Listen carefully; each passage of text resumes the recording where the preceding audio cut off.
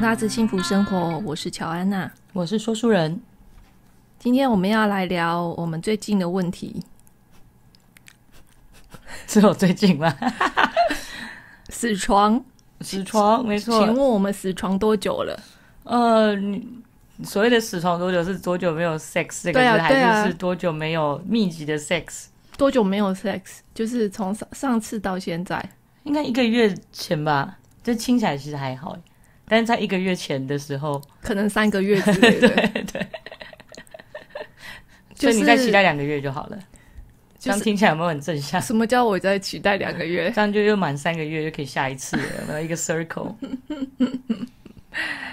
呃，其实我们一开始不是这样的，我们一开始在一起的时候是还蛮热情的，打的火热，应该是一天三次嘛，可能两次吧，就几乎有见面的时候有见面热情。对，然后那时候去环游世界的时候，也夸下海口说到世界每个城市都要打炮，但不过真的没有实现，因为太累了。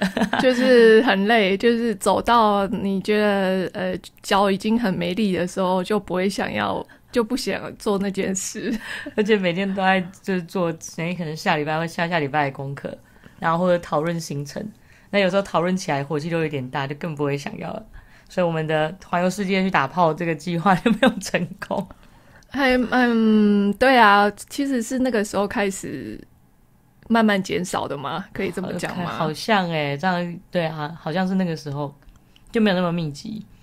嗯哼，环游世界是实创的那个开始，导火线，可以这样讲吗？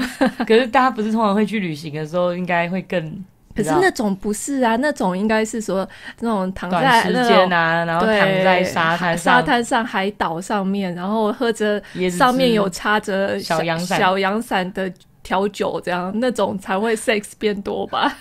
所以你想要就对了，我可以买一些小阳伞回来给你，插在里面。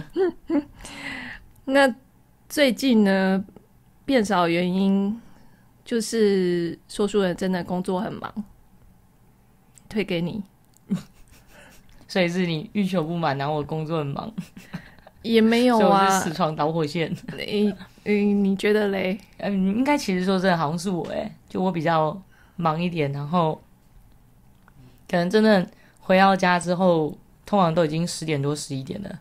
那再忙一下，基本上就十二点了。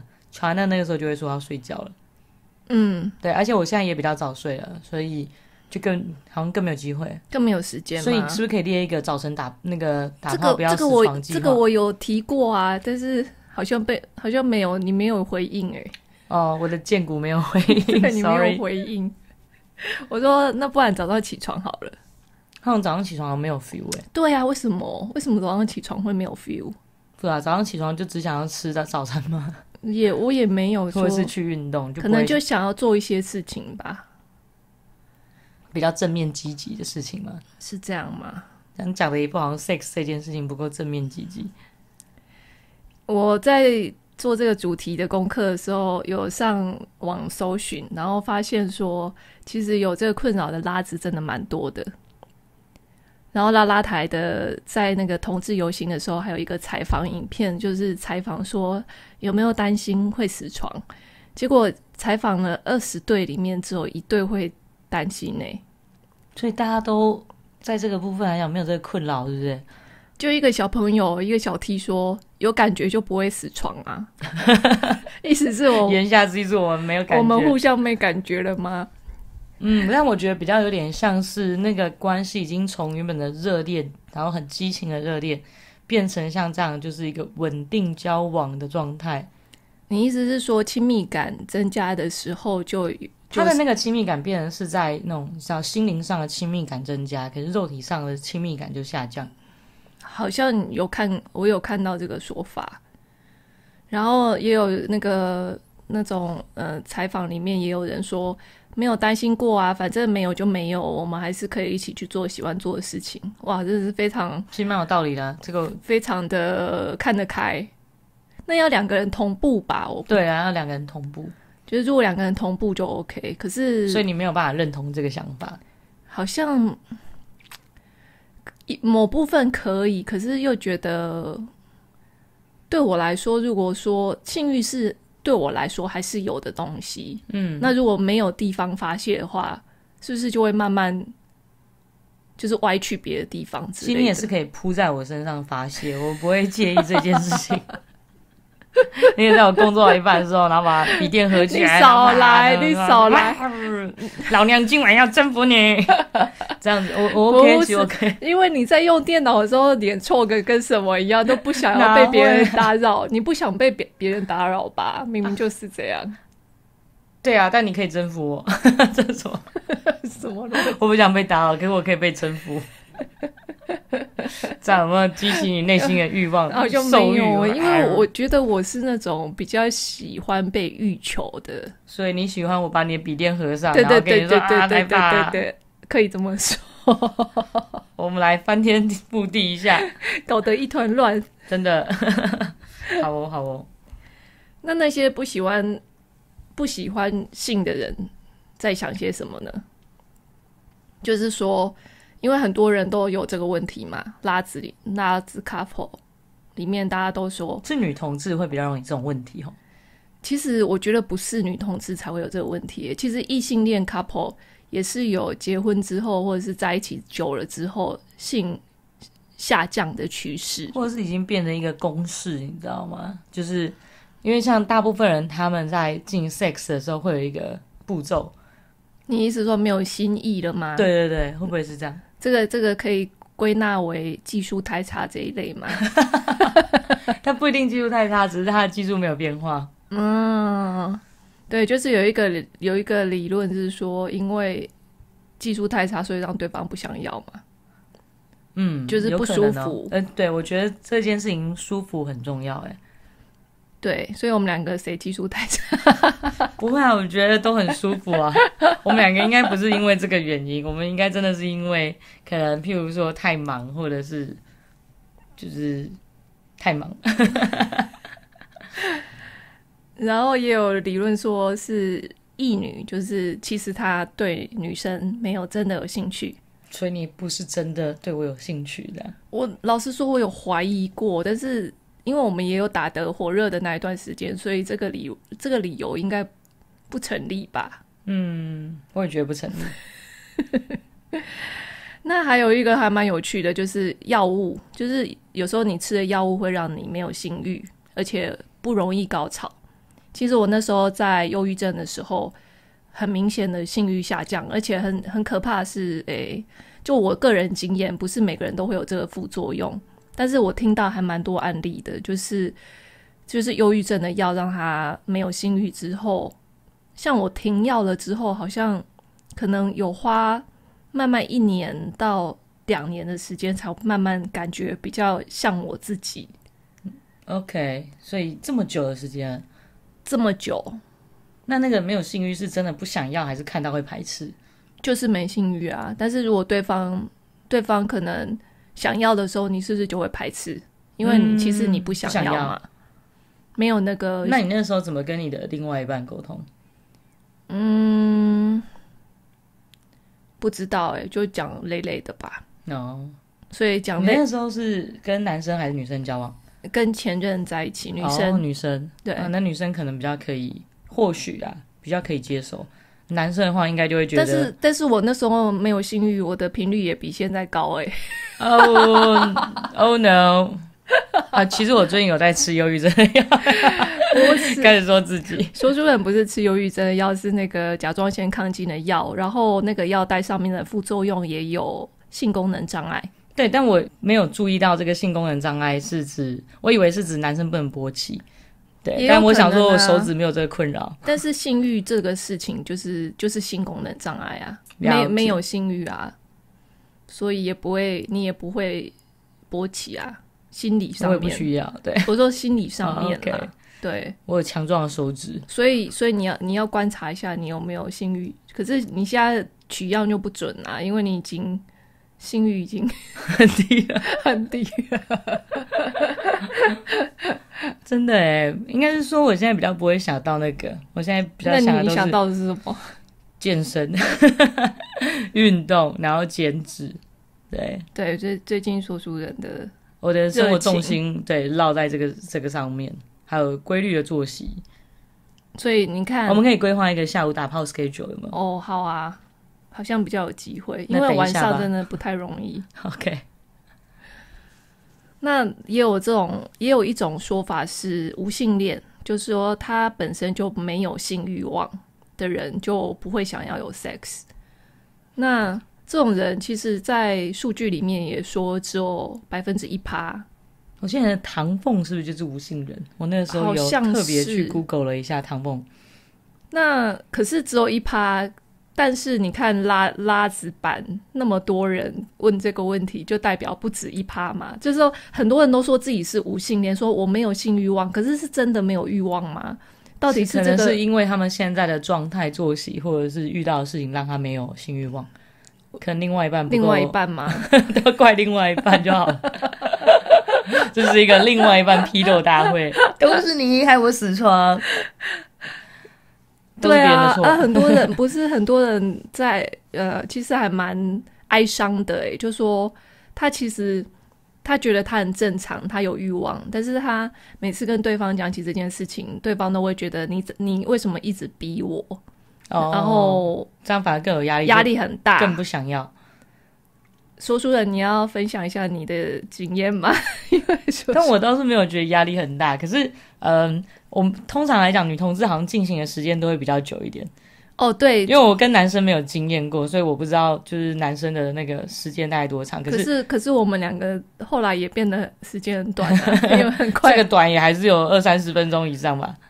呃，对了，有啊有，因对因，为就是我觉得女生可能前面的前置作业需要比较就是认真仔细的服务对方，对。像乔安娜就是那种，如果你要直上，她不行的哦、他就说为什么？我说要从那个头部开始，所以我就会开始亲吻她的头皮。我说不要一次就往下面走，我需要慢慢来。对对对，但我觉得就是可能因为女同志她可能需要时间会比较久，你才能够让你的就是阴道被刺激的时候是比较湿润的状态、舒服的状态。那所以整个前面再加中间再加后面的努力过程，可能就会需要四十分钟到一个小时以上吧。我们刚在一起的时候，有的时候两三个小时诶、对啦，所以就是也有这种说法是说，为什么呃女同志容易失床的原因，有一个是因为时间成本太时。间对时间需要很长，而且通常双方都会得到满足，跟异性恋的 sex 其实不太一样。那异性恋不会双方都得到满足哦？不会啊，就是男人射了，还有什么好玩的？就没没得玩啦。可是男生哦，所以男生男生不会服务女生到好吗？真的哦、可能真的有啦。那那些自认为自己性技巧很好的男生，他们就是他们自我感觉良好啊。哦，我们这样会不会遭到那种异性恋男子踏伐？就是说 哎应该没有异性恋男子在听我们的节目吧？不一定，等下异性恋男子就跳出来，这什么烂节目？认真狗，不好意思，我们刚刚政治不正确了一下。然后就是没办法，就是这样。我们是没有办法反驳什么。嗯，对。但我知道以生理来讲的话，男生真的就是射就就他们就达到最最舒服的点了，可是女生那个时候不一定有同步到。的确是啊，而且大部分女生可能都没办法那么快吧，除非是我不知道诶、可能是很很了解自己的身体的女生，又要有点主动嘛。哦，我是讲我自己以前的经验啦，就是说，你如果一直在躺在下面，让男生在上面的话，真的是有点难。所以就是、要反过来对，要反过来，就是起承位这个这个姿势才比较容易女生到。哦，对，笔记，嗯，笔记干嘛？你笔记干嘛我说大家要笔记，大家要笔记。那死床了要怎么办？我后来就是一直在中文的那个 Google 找不到，所以我后来就去英文的搜寻英文网页，有找到一个还蛮有，我觉得写的还蛮好的一个心理治疗师，他叫 Doctor J Man。呃，他就是有列出几点可以改善，也许可以改善死床的方法。第一个当然就是要照顾好自己，因为大家说死床通常都理由吗，借口都说很累，对啊，我的没理由也时间是很累，对啊，没时间。没时间很累嘛，那就代表你可能并没有好好照顾好自己的身体状态，或者是你已经生病啦，吃药，对不对？嗯嗯，所以先照顾好自己，然后跟你的另外一半把这件事情聊开来，就是两个人的现在的状态可能需要同步一下。哎，我觉得这蛮重要的，因为像就是我之前跟我前女友在一起的时候，反而那个时候还是我可能比较年轻嘛，对性的渴求比较大，但是对方他其实是有点排斥的，就是他的排斥是他觉得就是两个人在一起应该就是就是你知道心灵上大过于身体上。但也不是说什么我一天到晚都在渴求生他的身体，就我我觉得，嗯，这一个礼拜一次或两次，应该应该还好吧？就是以以刚在一起，可能一一年两年内，我觉得都还算正常啊。但是他可能就会就是有点排斥，嗯，那他就会开始跟我说什么哦，他的好朋友跟他另外一半在一起三四年，他们现在几乎也都不用进行，可是他们感情还是很好啊。屁啦，他们最后还是分手了，而且那个那个他的朋友后来嫁给男人，但是那嫁给男人，我觉得这件事无妨，就是他找到他的真爱就好。但是屁啦，明就有影响，对，所以我要讲的是说，呃，我那个时候会觉得蛮蛮挫折，而且想要跟他聊开，他会一直避重就轻，像是然后呃，譬如说他就会说，你为什么要一直问这个事情？我就不想啊，没有什么好说的，没有什么好说的，你不要你不要再一直问我，我对，就像你说，呃，觉得很压力很大，压力很大，。对。那通常来讲，你就不会就一一直硬逼人家，对，对，可因为是久了这种事情之后，就是要身心灵舒服，久了之后就是你看嘛，就是你也会向外发展啊。对，是是这样没错，默默被捅了一刀，就真的我觉得身心灵契合真的蛮重要的，对，所以那为什么我们一直到现在才决定要聊开来？我们之前有聊过死床的话题吗？没有在 p o c k e t 上录过，可是是有聊，但是好像我觉得有点像是都是我在歪您说，诶，我们是不是要死床了？然后你就会跟我说不需要担心这种事情。可是对啊，我觉得不需要担心这种事情。明天下午三点，房间床上见。但是可能我就发现了这个频率的减低嘛，嗯，然后觉得有点可能我的不安全感作祟。哦，那你会觉得说没有性行为这件事情，对方不爱你吗？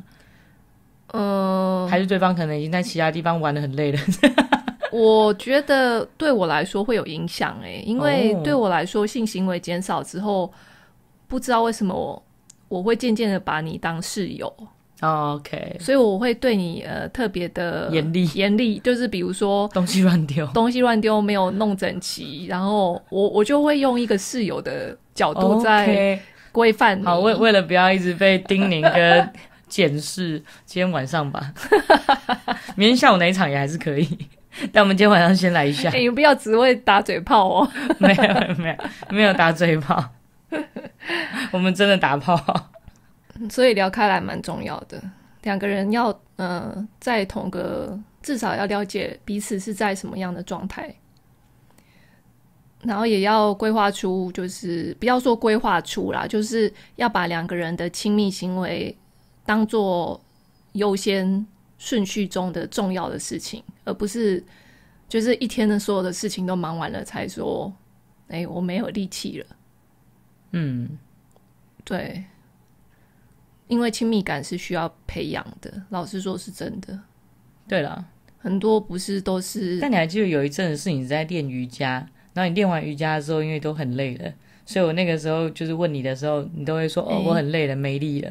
因为有一阵子你瑜伽课上的很密集的时候，对对对，的确是哎，就是因为已经没体力了，所有的体力都放在瑜伽上面了。嗯，我现在才想起来哎，所以如果你的另外一半是瑜伽老师的话，叫他课接少一点，接你这个课就好，不要接其他课。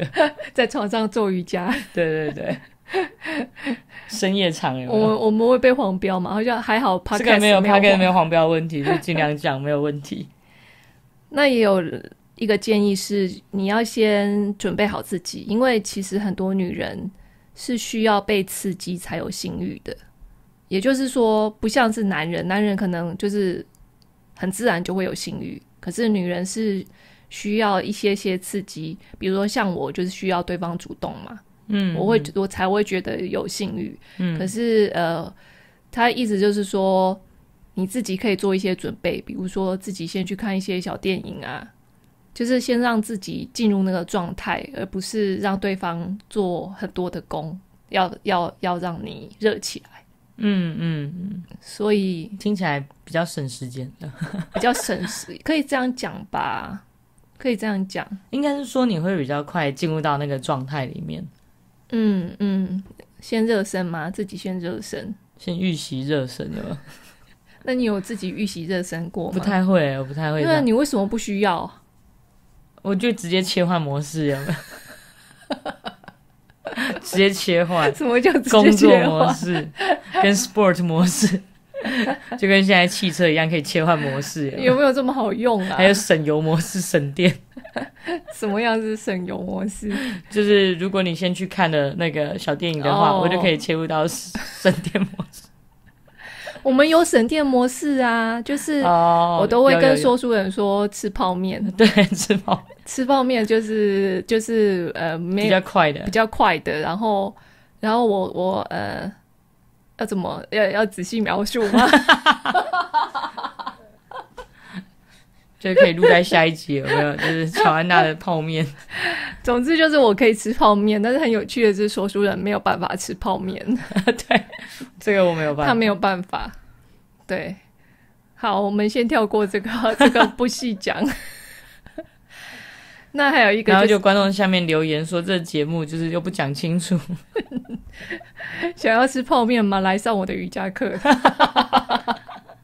乔安娜老师示范。你这样好歪哦。好啦，刚才也是开玩笑的，不要把瑜伽班学生吓跑。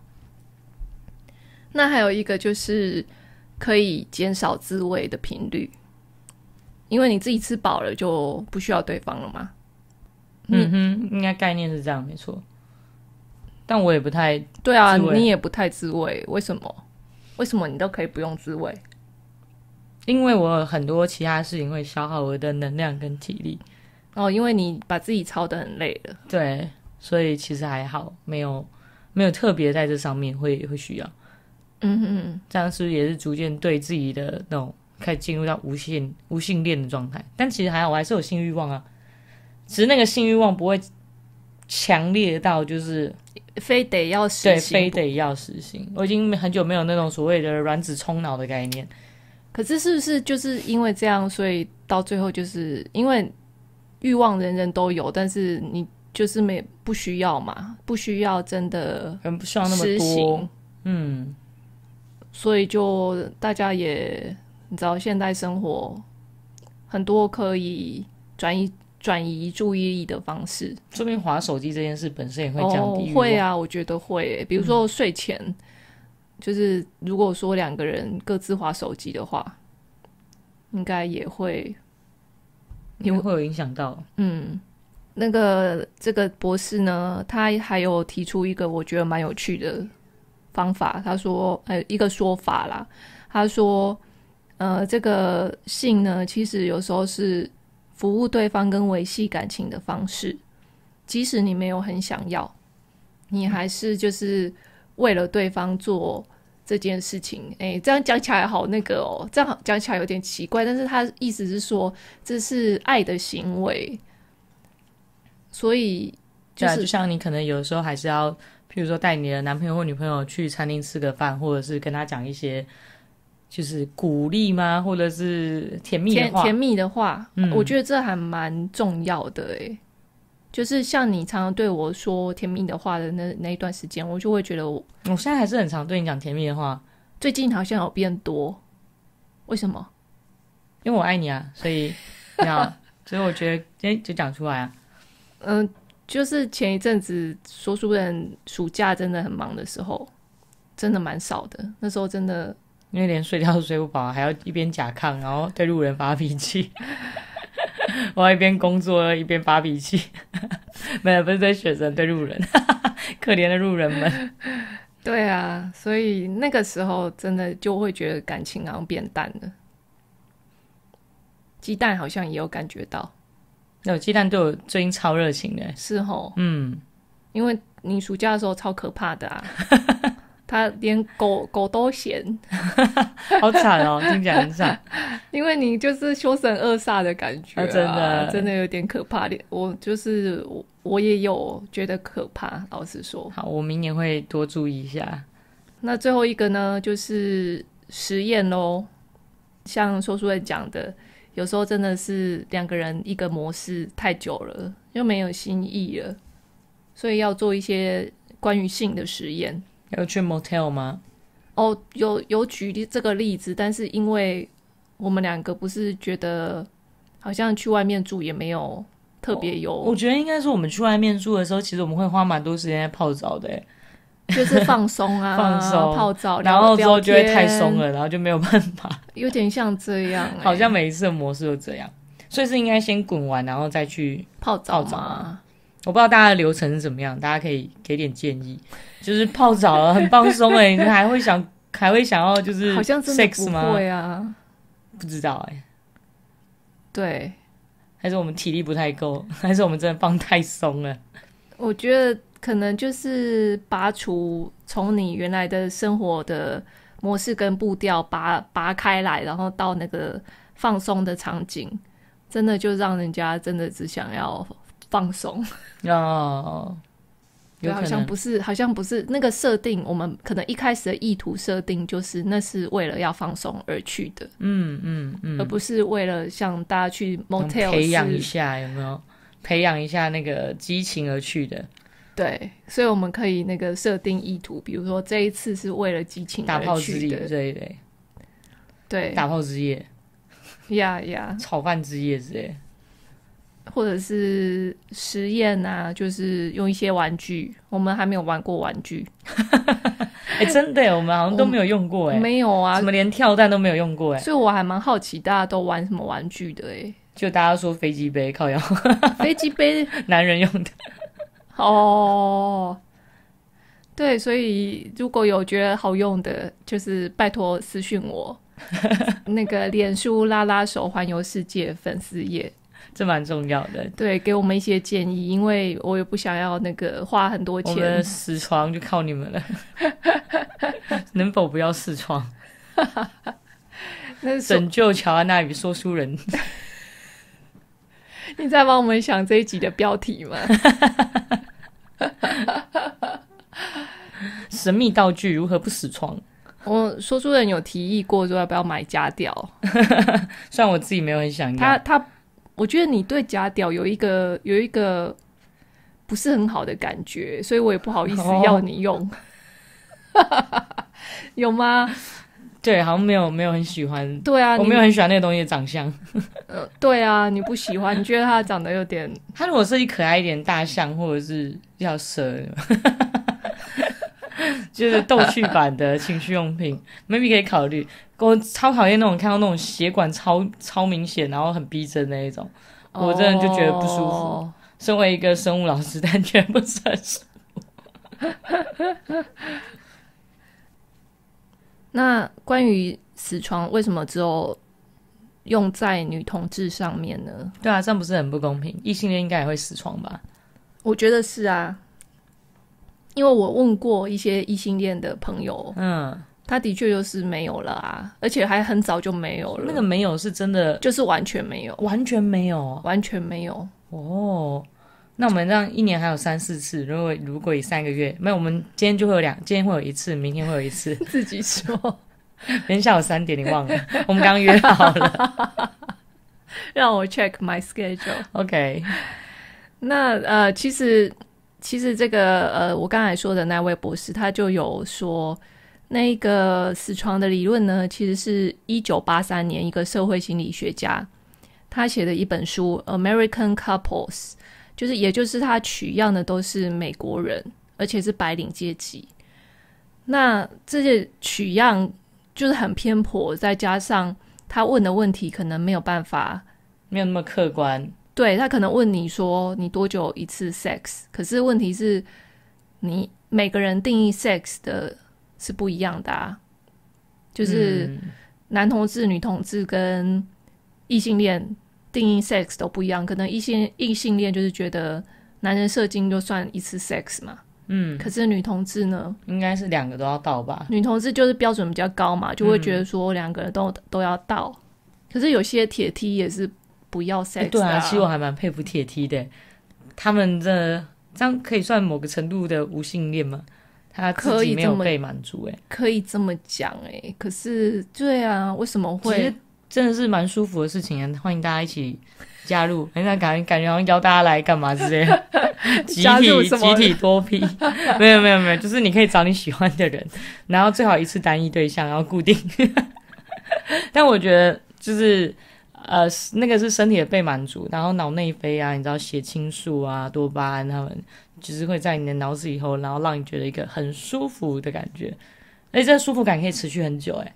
就是他可以蛮舒压的，老实说，真的，所以鼓励那些还不知道怎么尝试的，或者是可能排斥尝试的，反正试试看嘛。可是如果说，如果说，呃，我我就是不喜欢 sex，我是无性恋，嗯可是我另外一半有性欲，那我愿不愿意让他出去？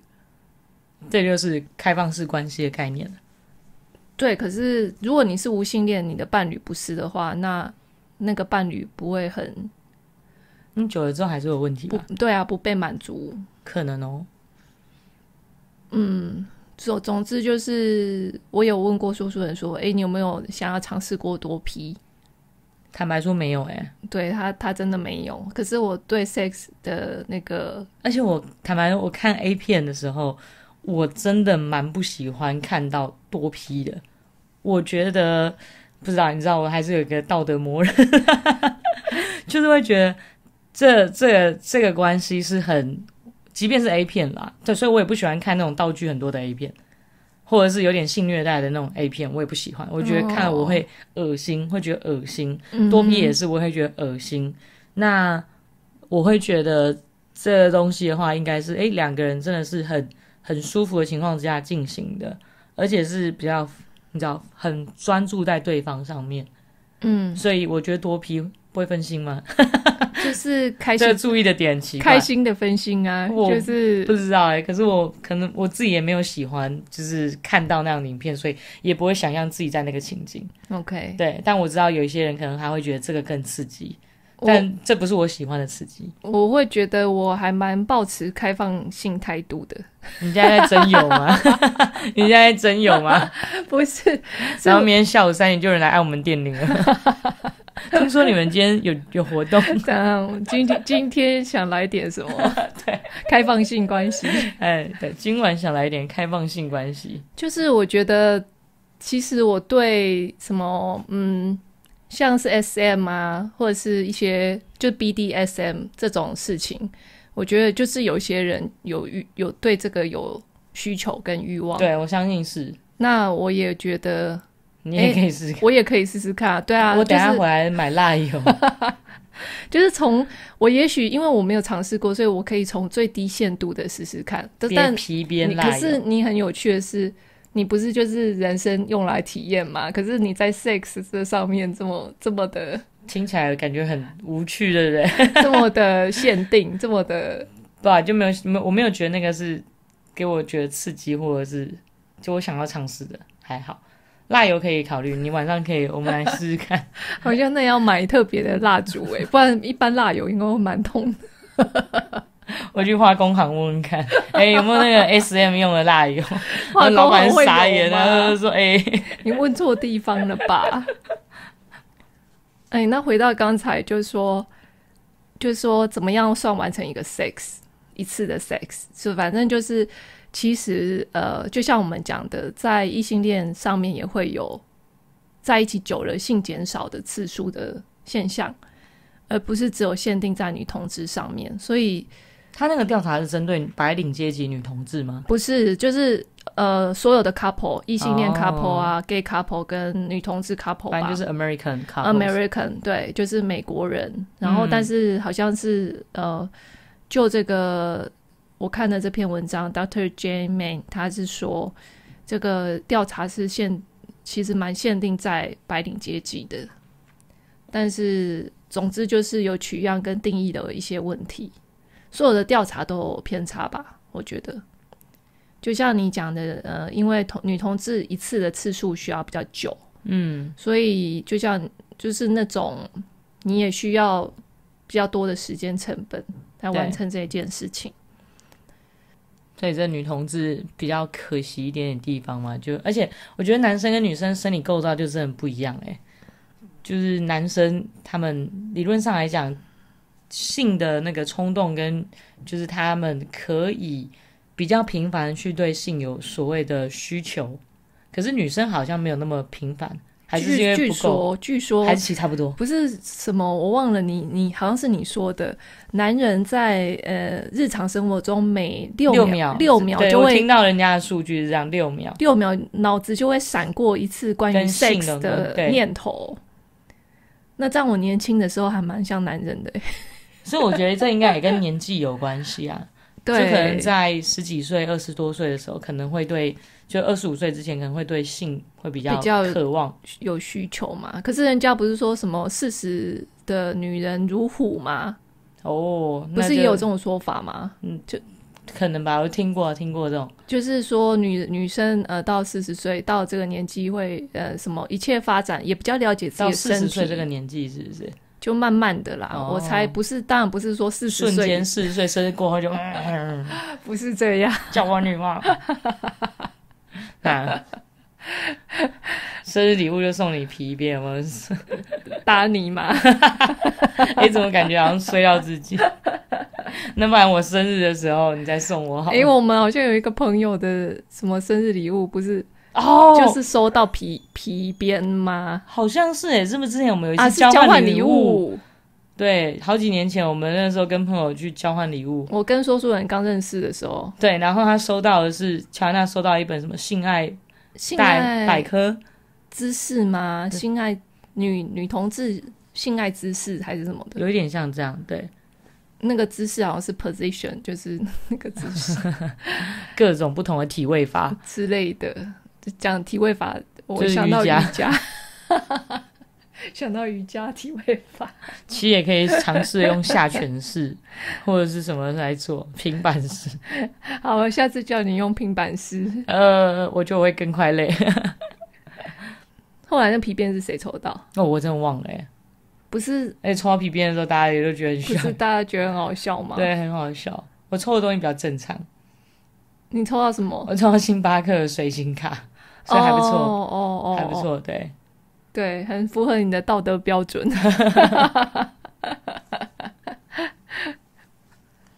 那我们可能就会这几个建议，先来试试看。先来试试看好了。就所以，有实验精神，我们晚上来买个皮鞭之类的，哎、那个是第七步啦，我们可以先就就是直接从从前面最后来啊，从这个冲了，直接冲了。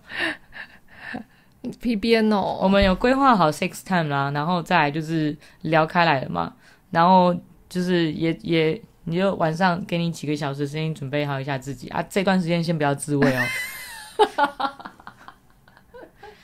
那接下来我就可以服务你，我们就可以实验了，有没有？七个步骤一次满足，那这样我们下次还要玩什么？就不同的实验啊。cosplay 有没有好？忙哦。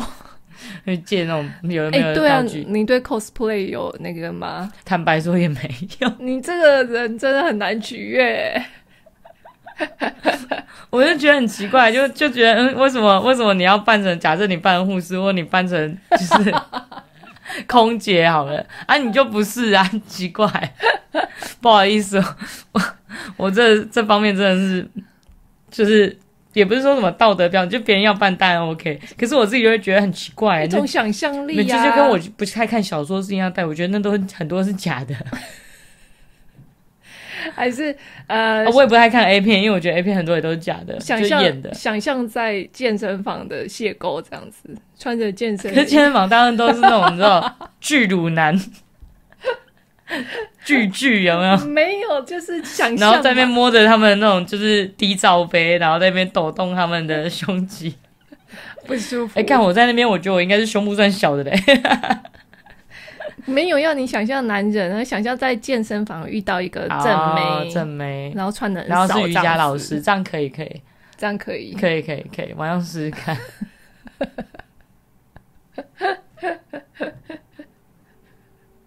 然后之后录一集，有没有这实验的成果验收？实验成果，我们就是还要记录说今天有打勾勾这样子。可以哦，可以，可以。所以你觉得 sex 变少有影响到我们的感情吗？坦白说，我觉得还好哎。可是我比较驽钝，对啊，你超驽钝而我，自我感觉非常良好。对你都没有感觉到，其实乔安娜已经在 keep 其 up 了。其实我已经有一点把你当室友了。有你刚刚开始说什么会叮咛呃挑剔我的什么里面的东西，或者是摆的放的位置，这点我有发现到，所以要赶快安抚你一下，是这样这样我就可以继续乱摆。只只是因为我最近特别喜欢那个吧，万呃，就是比较特别在整理练习整理，对对乔安娜是那种一旦投入一件事情的时候，他就会极度专注，对，所以我们家的东西已经快要被丢光了，丢光了。也没有吧，东西还是很多啊。还好当初买很多，不然就真的丢光了。不过整理完了就没得整理了，好像也会有点哀伤。你到时候可以去你妈或者是别人家帮她整理，那也要人家同意啊。你就趁你妈不在，然后开始整理啊。你妈回来就说有那哪个小偷偷这么干净，哦，可能会这样。那你们也有这样的困扰吗？不知道是不是大家也有类似的困扰，或者是如果你觉得有其他也不错的方法的话，可以分享给我们。或者是嗯、呃希望你听到今天这一集之后，会觉得比较不那么担心了。就是其实这都是很正常的。哦，我们在一起七年。七年了，快要满七年，要迈入第八年了。对，十二月九号就满七年了，所以我们之后可能就会有七年之痒，还是七年之痒是在这一七年之痒是在这一年，哦。已经过去的这一年。但我这一年真的蛮痒的因为那个甲状腺那个药会让我就是皮肤真的有吗？嗯？真没有啊是真的痒，哦，是那种一区的痒，所以哦，你皮肤痒，对，可能肝不好之类的，好吧，听起来有点难过。因为太累了太累了，所以就对中医说肝跟皮肤是有关的。好好，那我留意一下，那谢谢你的聆听，谢谢你有关心我们的私装，希望这件事有安慰到你。如果你们的频率比我们高一点的话，我们人生要乐观一点。那有什么想法的话，都可以留言给我们。Apple Podcast 可以留言，或者是可以到我我们的粉砖留言给我。通常是乔安娜在看留言啦。说书人也会看，哦，是哦，但是乔安娜主要负责回，因为乔安娜文笔比较好，没有啦。我只会嘴炮。对，哦，我讲对，你太诚实了，给我一点面子、啊。好，那今天就聊到这里喽，拜拜。拜拜。